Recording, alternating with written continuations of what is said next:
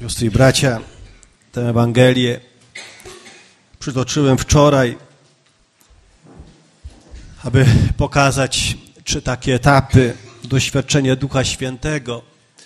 I warto, warto za każdym razem, szczególnie kiedy mamy jakąkolwiek wątpliwość, spojrzeć w swoją przeszłość i uznać ją za świętą, mimo grzechu i zła spojrzeć w przeszłość i uświadomić sobie, że ona jest przeniknięta obecnością Boga. Ta świętość płynie od Boga, nie od nas, nie z naszych czynów, ale dzięki Jego obecności nasze życie jest święte, dlatego jest chronione. Uświadomić sobie trzeba nam, że jesteśmy dziećmi Boga. I to za każdym razem.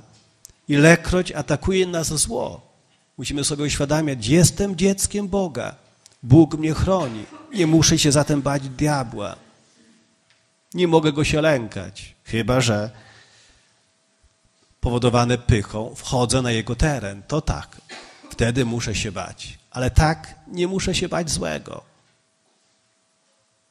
Jedynie, jeśli tak można powiedzieć, powinienem się lękać grzechu, bo to grzech jest najbardziej niebezpieczny. Nie demon, nie diabeł, ale grzech. Diabeł nie ma nad nami władzy. Ale jeśli zgrzeszymy, sami poddajemy się pod jego władzę. Dlatego to grzech otwiera nas na demony. I on jest najbardziej niebezpieczny. Dlatego, jeśli chodzi o lęk, to powinniśmy się lękać grzechu. Powinniśmy bać nawet tego, co ma pozór zła, aby przypadkiem nie otworzyć jakiejś furtki dla złego. Ale złego nie musimy się bać. To on boi się nas, a szczególnie boi się tych, którzy mają świadomość tego, że są dziećmi Boga. I trzecie, zawsze, ilekroć wzywamy Ducha Świętego, ilekroć uświadamiamy sobie Jego obecność, czy modlimy się o wylanie, czy o nowe doświadczenie Ducha Świętego, tylekroć powinniśmy wiedzieć, Teraz rozpocznie się moja droga, która nie będzie łatwa, bo Duch Święty prowadzi zawsze na pustynię. Pozbawia nas wielu zabezpieczeń. Tracimy i dobra materialne, i możemy stracić zdrowie, i możemy stracić dobre imię, i możemy stracić bliskich. To jest normalne.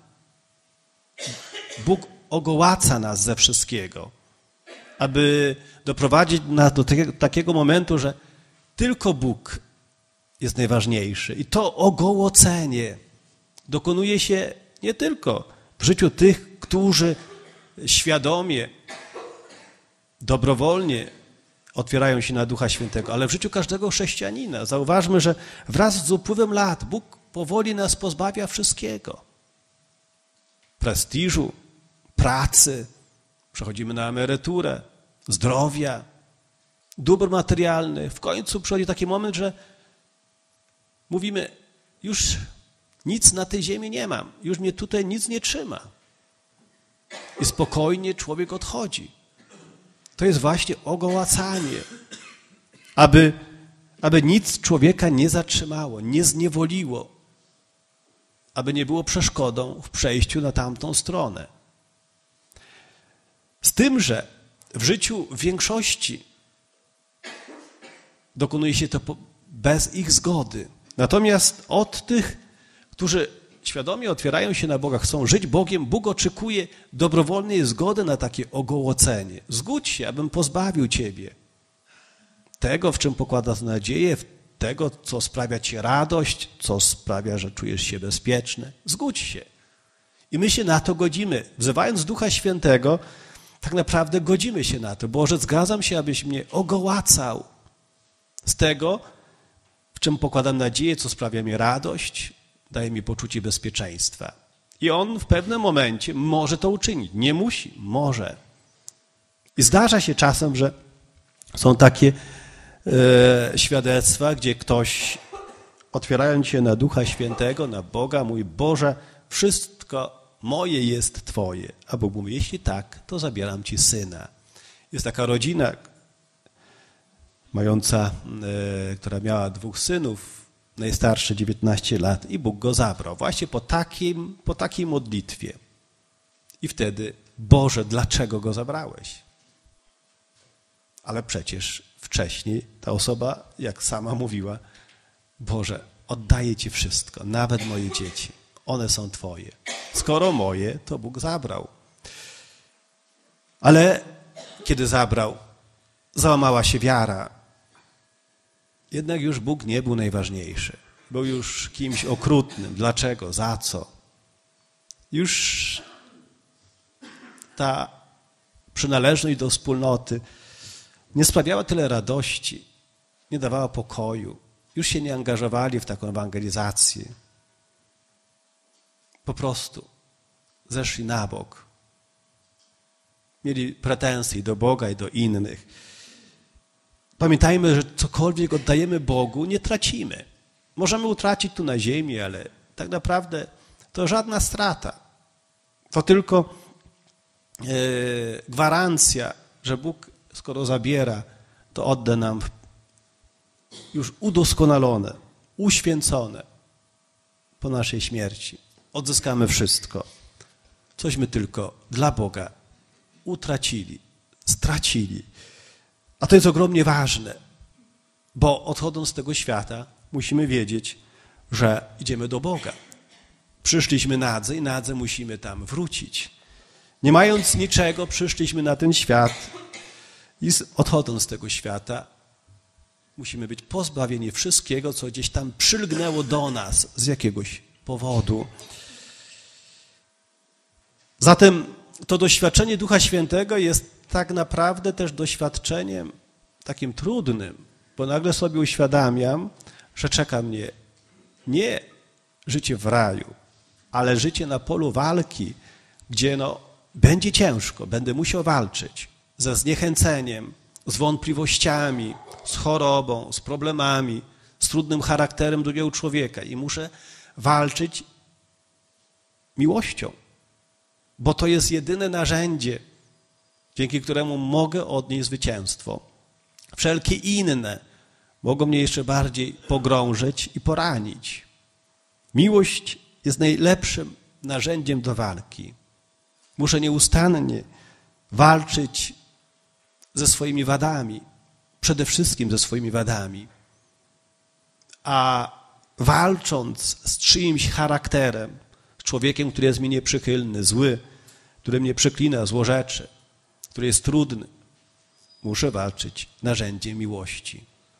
A miłość jest cierpliwa, łaskawa, uprzejma i tak dalej.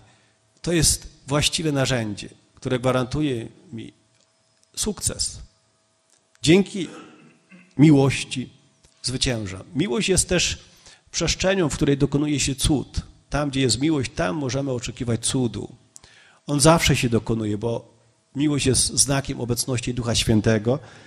Wiemy, że Duch Święty, ruach y, w języku hebrajskim oznacza wiatr, ale nie tylko, oznacza, oznacza też klimat. Zatem tam, gdzie pojawia się Duch Święty, tworzy się szczególny klimat, który y, jest przyjazny dla człowieka, dla każdego, który y, nie narzuca zmiany, ale sprawia, że człowiek sam chce się zmienić. Jeżeli jest taki klimat gorący, to słońce nie zmusza do, do ściągnięcia ubrania. To człowiek sam, kiedy znajdzie się w takim klimacie, zdejmuje ubranie. I chodzi o to, abyśmy doświadczając Ducha Świętego stwarzali właśnie taki klimat, że nie narzucamy nikomu zachowywanie przekazań, ale to oni, przebywając w naszej obecności, sami zachowują przykazania, bo wiedzą, że no, w obecności tego człowieka nie, nie wypada przeklinać, nie, nie wypada źle mówić, narzekać, bo wiem, że on, on tego, tego nie lubi, nie? czy ona tego nie lubi. Nie? W jej obecności no, no, trzeba się porządnie zachowywać. Nie? Chodzi o to, żebyśmy tak wypracowali w sobie taką postawę i stwarzali taki klimat, że to inni będą sami dążyli do tego, aby, aby w ten klimat wejść, a nie, że my będziemy narzucać komuś taki czy inny sposób zachowania. To jest ogromnie ważne, bo E, wtedy będziemy świadkami cudu. Jak Duch Święty przez nas przemienia innych. Kiedy będziemy narzucać, będziemy świadkiem działania złych duchów, które będą sprawiać, że jeszcze bardziej drugi człowiek będzie oddalał się od nas i będzie nas atakował. Chciałbym te, te nasze rozważania za, zakończyć pewnymi, pewnymi takimi informacjami, które myślę, że Wam też będą ogromnie pomocne. Myślę, że zresztą wszelkie jakieś informacje, które gdzieś e, do nas docierają, też nas e, i czegoś uczą, budzą pewną świadomość, nawet jeśli one są złe. Papież Jan XXIII, teraz już święty, kiedy był e, nuncjuszem apostolskim e, przed wojną, odwiedził pewną wioskę w Czechosłowacji, w której stał się świadkiem obecności Ducha Świętego. Być może, być może właśnie to doświadczenie sprawiło, że on tak mocno otworzył się też na Ducha Świętego i później zwołał Sobór Watykański II. Przebywając w w tej wiosce, a przebywał dość często, on zauważył, że ludzie żyją charyzmatami, mówią językami, prorokują. Nie ma tam chorób, bo jeśli ktoś zachoruje, wszyscy się modlą o uzdrowienie i następuje uzdrowienie. Była to wioska, która żyła charyzmatami. I rozmawiając e, z osobami, e, dowiedział się, że w XI wieku w tej wiosce panował głód. Ludzi czekała śmierć głodowa. Zaczęli modlić się do Matki Bożej i w pewnym momencie, do Boga i w pewnym momencie objawiła im się piękna pani. Oni nie wiedzieli, czy to jest Matka Boża, czy nie. Ale ta piękna pani nauczyła ich modlitwę do Ducha Świętego, mówiąc, wzywajcie Ducha Świętego. I kiedy posłuchali, stał się cud. Właśnie było, nastąpiło wylanie Ducha Świętego, zaczęli mówić językami, prorokować. Chleb, który wypiekali, został rozmnożony w cudowny sposób, także dotrwali do wiosny. I od tego momentu w tej wiosce nie było chorób, nie było więzień, nie było złych ludzi. Wszyscy żyli charyzmatami. I tak było właśnie do, do XX wieku. 1938 roku, kiedy naziści najechali Czechosłowację, między innymi spacyfikowali też tę wioskę, wszystkich mieszkańców wymordowali, przeżyła tylko E, jedna e, dziewczynka, która później wyemigrowała do, do Stanów Zjednoczonych, nazywała się Anna Maria Schmidt i ona napisała książkę, dając właśnie też takie świadectwo właśnie tego wydarzenia i spotkania z Janem XXIII, który, jak stwierdza, już swoją postawą był bardzo otwarty na Ducha Świętego, żył Duchem Świętym. I to jest takie pierwsze, y, pierwsze wydarzenie, informacja, którą chciałbym Wam przekazać, abyście też zaryzykowali życie nie tylko we wspólnocie, ale w swoich rodzinach charyzmatami. Używali charyzmatów. Uczyli się ich używać. Pamiętajmy, kiedy uczymy się pływać, jeździć na rowerze, jeździć samochodem, popełniamy błędy. Ale nie ma możliwości nauczenia się bez popełniania błędów. Jesteśmy ludźmi i te błędy są wpisane w naukę. Ale widząc błąd, zaczynamy go naprawiać. Mamy większą świadomość, że jest źle to zrobiłem, muszę bardziej się postarać. I tak samo jest przy charyzmatach. Jeśli ktoś jest chory, zanim podam lekarstwo, czy zaprowadzę do lekarza swoje dziecko, czy sam pójdę, przecież mogę pomodlić się o uzdrowienie. Komu z was przychodzi taka myśl, że zanim pójdę do lekarza, najpierw będę modlił się o uzdrowienie. Ręka do góry. O, sporo. To dobrze, dobrze. U kogo to skutkuje sukcesem? O. To tam, gdzie mieszkacie, lekarze nie zarobią. Ale ja też tak robię i Pan Bóg jakoś to błogosławi i rzeczywiście to skutkuje, dlatego was też zachęcam. Pomodlić się. Są różne sposoby. Jest, y, możemy prosić, Panie, Ojcze, Ojcze, proszę Cię w imię Jezusa, uzdrów to miejsce, gdzie jest ten ból. Uzdrów mnie z tej gorączki, z tej choroby. Ale też możemy, bo czasem może choroba być powodowana przez złe duchy. W imię Jezusa Chrystusa nakazuję Ci bólu, odejdź ode mnie, nie chcę Ciebie, idź precz ode mnie, w imię Jezusa. Wierzmy w to mocno. Tak samo jak chodzi o działanie złych duchów. Dzisiaj jestem smutny, rozdrażniony, zły na kogoś. Nie wiem skąd się to bierze. W imię Jezusa Chrystusa, duchu rozdrażnienia, duchu smutku, albo rozdrażnienie, smutek, idź precz ode mnie, nie chcę Ciebie. Też to podziała. Zobaczycie, że e, w pewnym momencie nagle zniknie rozdrażnienie i ten, który was drażnił, już nie będzie was drażnił.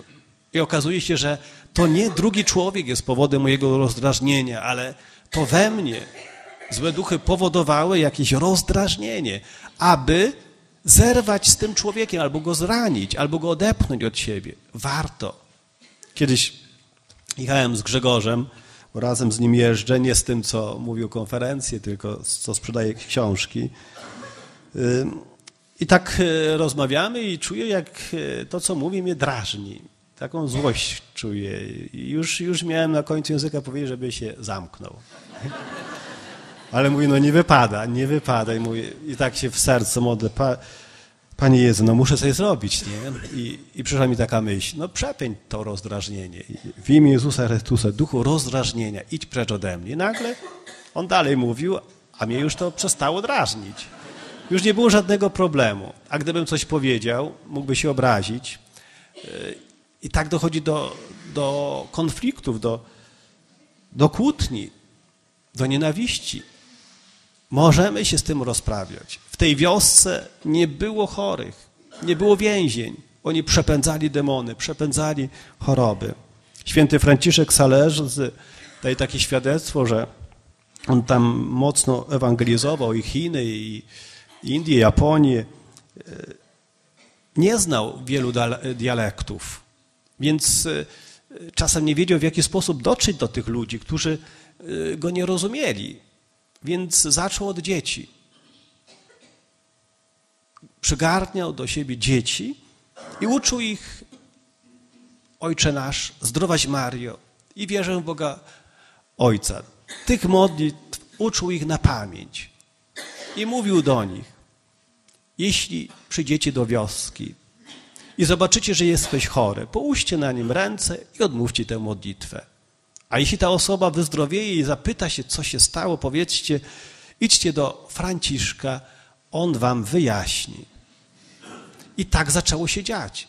Mnóstwo ludzi było uzdrawianych i przychodzili do Franciszka zapytać się, przez jakiego Boga doświadczyli uzdrowienia. Jaki to Bóg ich uzdrowił. Dzieci nie wątpią. Jeśli każecie im się pomodlić, oni, oni to zrobią, bo oni w to wierzą. Tata powiedział, mama powiedziała, no to tak ja robię. Nie, nie wątpią. Jeśli macie dzieci jeszcze małe, bo te starsze to już mają wątpliwości, to proście. Powiedzcie, nie, synu czy córko, no tatusia boli, czy mamusi boli głowa, połóż swoją dłoń na, na głowie, pomóż się do, do Jezusa, aby ból ustał. I zobaczycie, że ustanie. Jeśli dziecko się pomodli, ustanie. Kiedyś słyszałem takie świadectwo. Umierała matka. Lekarze już e, nic nie mogli zrobić. Dwójka dzieci w szpitalu na korytarzu e, siedziała, no i malutkich dzieci z jakąś tam opiekunką. I przyszła e, znajoma, znajoma pani doktor, e, która zajmowała się tą chorą. No, akurat e, ratowali matkę, bo, e, bo konała. I ta znajoma, czekając z tymi dziećmi, mówi: Wołajcie do Boga, krzyczcie do Boga, aby oddał wam matkę. I dzieci zaczęły krzyczeć. Autentycznie zaczęły krzyczeć. Nawet ktoś tam wyszedł z sali, żeby się cicho zachowywało, ale ta, ta znajoma tej lekarki mówi: Nie słuchajcie ich, wykrzyczcie do Boga. I matka wróciła do zdrowia. Wszystko się cofnęło. Całkowicie została uzdrowiona. Więc warto, warto wołać. Nie ma takiej sytuacji, która byłaby sytuacją bez wyjścia, beznadziejną. To my tylko stwierdzamy, nie ma już nadziei. To człowiek może nam powiedzieć, nie ma już nadziei. Ale u Boga wszędzie jest nadzieja. Jeśli wszystkie drzwi są zamknięte, Bóg otwiera okno. Patrz, otwarte jest okno, możesz uciec. Jest szansa. Zaufaj mi. Może wiele osób by żyło, gdybyśmy właśnie z taką determinacją wołali do Boga. Nie wątpili. Cuda naprawdę się dzieją, ale tylko tam, gdzie ludzie w to wierzą. Bo jeśli ktoś nie wierzy, to Pan Bóg na siłę nie będzie czynił cuda, bo, bo po co jaki człowiek, nawet jeśli uczyni cud, to człowiek to jakoś inaczej wyjaśni, nie? przypadek, zbieg okoliczności. Druga sytuacja, którą chciałbym Wam e, podać, a która też pokazuje ogromną moc, dzięki której możecie żyć Duchem Świętym i to na co dzień. Miała miejsce w pierwszym wieku przed narodzeniem Jezusa, właśnie w Ziemi Świętej. Tam również e, panowała susza. Ludzie też byli narażeni na śmierć. Może nie głodową, ale śmierć z pragnienia. Nie było deszczu. Od miesięcy nie padało. Nie było wody. Nie było proroka, który mógłby zapytać się Boga, co się dzieje, jaka jest tego przyczyna. I wtedy, wtedy e, człowiek o imieniu Choni stanął z laską pasterską, nakreślił wokół siebie okrąg i powiedział do wszystkich, którzy się temu przypatrywali, nie wyjdę z tego okręgu, dopóki nie zacznie padać.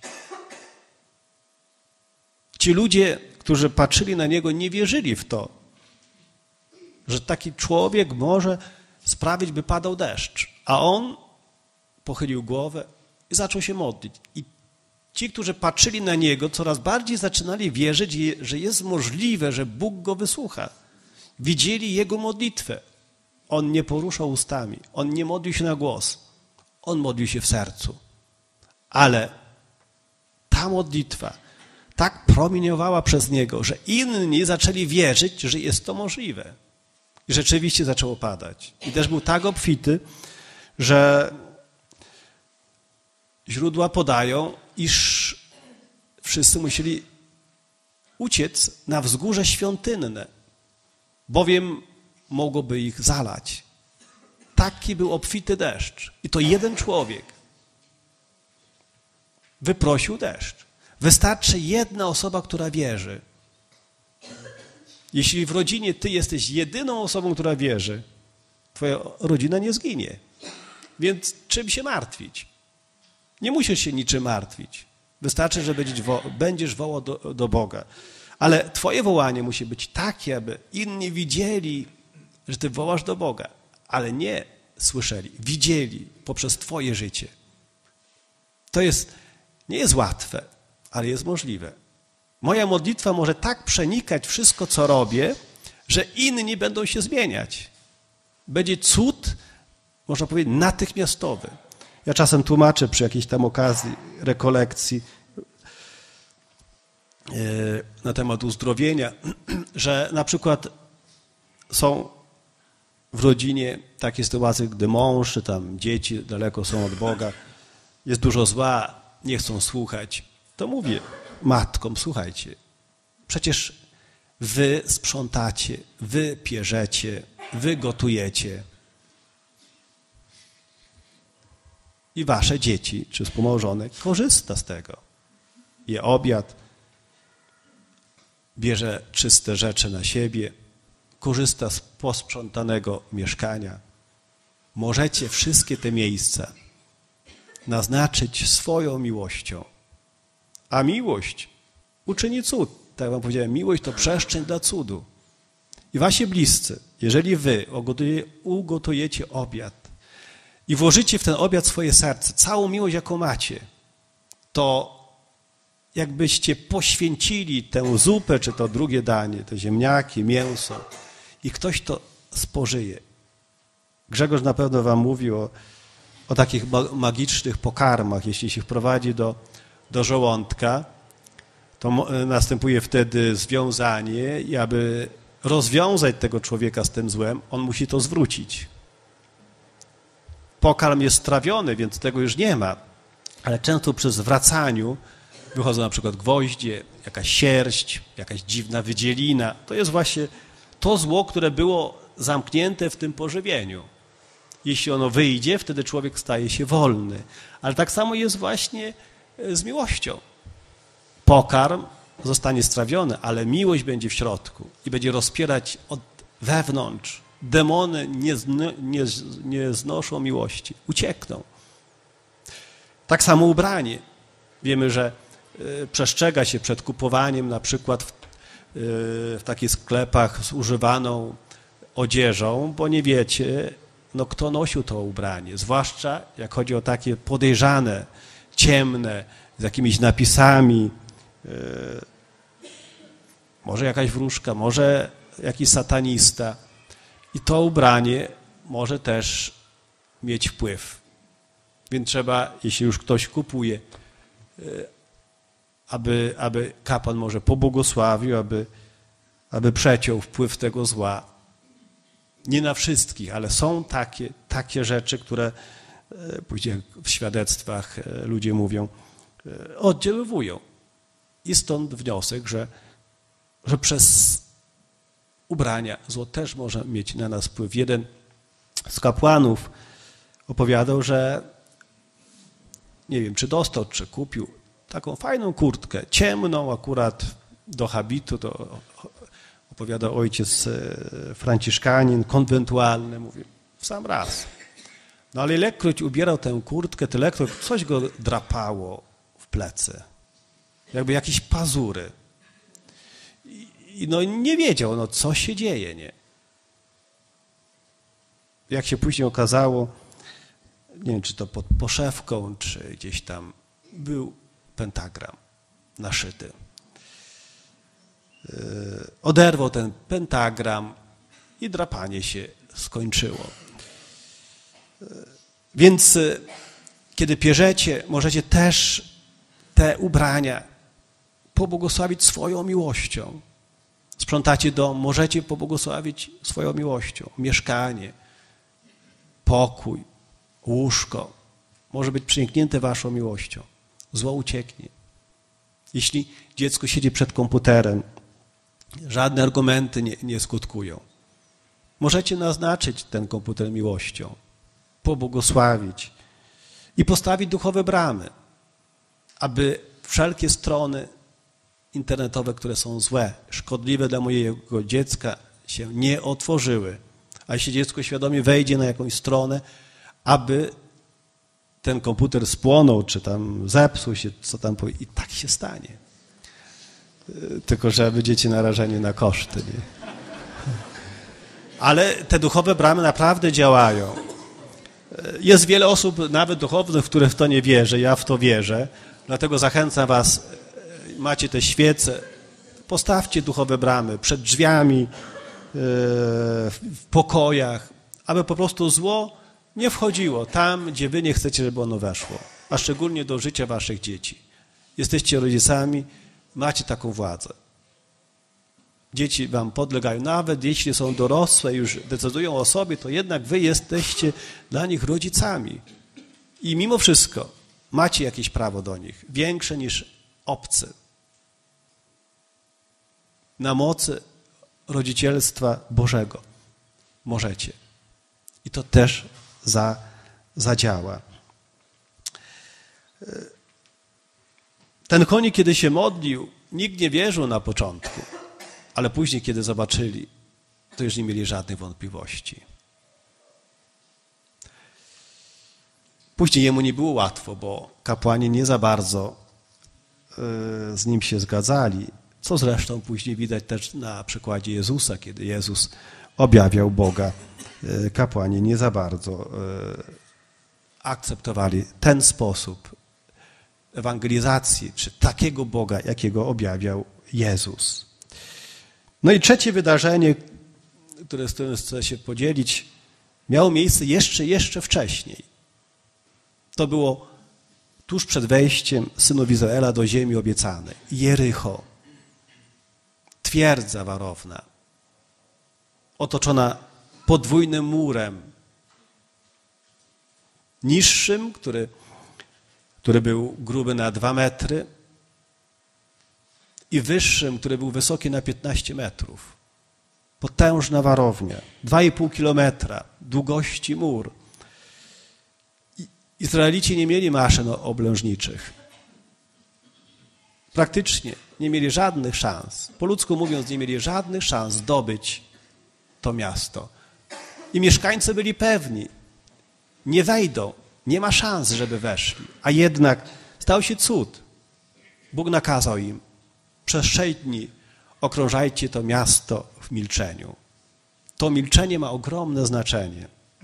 Robimy coś, co jest bezsensowne. Jak zdobyć miasto, chodząc wokół niego, jeszcze milcząc? Ze strony mieszkańców na pewno pojawiały się obelgi, przekleństwa, złorzeczenia. Nie jest łatwo wtedy wytrzymać, bo rodzi się w sercu człowieka taka chęć, aby odpowiedzieć tym samym. Ale Bóg kazał, macie milczeć. Siódmego dnia okrążyli miasto siedem razy. Jeżeli szli, pokonywali pięć kilometrów w ciągu pół godziny, to zajęło im to trzy i pół godziny. Przez trzy godziny chodzili w milczeniu, ale za siódmym razem wydali okrzyk. Wtedy ten okrzyk był na chwałę Boga. Nie okrzyk przekleństwa czy złorzeczenia, ale wtedy z ich piersi wyrwał się okrzyk na chwałę Boga i pękły mury. Mieszkańcy nie wiedzieli, co się dzieje. Jeżeli mamy jakikolwiek problem, nie do rozwiązania, sytuacji nie do wyjścia. Zamiast narzekać, martwić się, przeklinać, złorzeczyć, możemy okrążać tę sytuację w milczeniu, milczeć i chodzić w imię Boga, a później wydać okrzyk uwielbienia. Zobaczycie, mury runą. Co to oznacza? Czyli jeżeli macie jakąś taką trudną sytuację małżeńską, rodzinną, w pracy, okrążajcie tę sytuację. Jeśli to jest sytuacja rodzinna, możecie okrążać dom na przykład. W milczeniu. E, to milczenie jest znakiem waszego zjednoczenia z Bogiem, waszej modlitwy. Możecie w sercu wtedy wielbić Boga. A później wydać okrzyk. Możecie obchodzić zakład pracy, jeśli na przykład są jakieś problemy. E, możecie obchodzić w takim milczeniu jakiś teren, wasze pola, jeśli są nieurodzajne na przykład. Zobaczy i zobaczycie, co się wydarzy. Wtedy dzieją się cuda, naprawdę dzieją się, zmienia się sytuacja. Ale wiadomo, trzeba w to wierzyć. I czasem ktoś może was źle z tego powodu postrzegać.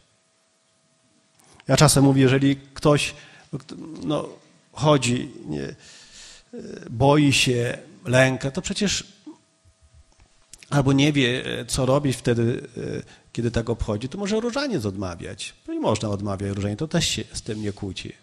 Spaceruję sobie i odmawiam różaniec. Wokół jakiejś sytuacji. I zobaczycie, ta sytuacja zacznie się zmieniać. To są y, sposoby biblijne na, na zdobycie takich warowni, które nie są do zdobycia. Pokonaniu takich twiec, które są nie do pokonania po ludzku. To naprawdę działa.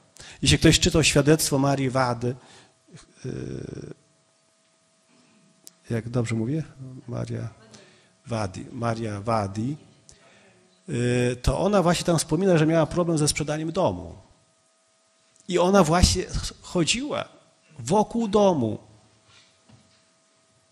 I nie tylko ten dom sprzedała, ale sprzedała po takiej cenie, co się nawet nie spodziewała, bo były o wiele lepsze oferty niż ta, którą ona miała. A jednak to jej dom został sprzedany i po takiej cenie, że była ona zaszokowana. Sytuacji, kiedy tam nastał kryzys w Stanach. Tak samo i my możemy to czynić. W każdej sytuacji, zamiast narzekać. Możecie chodzić, okrążać pokój, gdzie jest wasz syn, kiedy go nie ma, czy mąż, gdzie, gdzie przebywa. W modlitwie zobaczycie, co stanie się z synem. Jak mocno podziała na niego właśnie wasza modlitwa. O wiele mocniej niż te argumenty, czy nakazy, czy zakazy. Zróbcie to. Jeśli dziecko się nie uczy, marnuje czas przed komputerem, okrążajcie to miejsce, gdzie ono przybywa i obserwujcie, co się dzieje. Będziecie mieć później piękne, piękne świadectwa. I aby tak się stało, to wyznajmy naszą wiarę. Wierzę w jednego Boga, Ojca Wszechmogącego